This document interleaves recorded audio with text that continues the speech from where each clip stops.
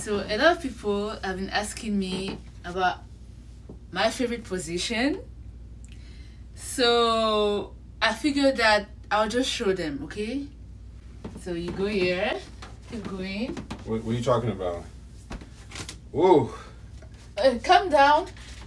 Are you okay? What are you talking about? What, So this? these are my favorite positions, guy. I hope in the future I'll become a CEO or maybe a Stop director. playing with this, girl. Come on.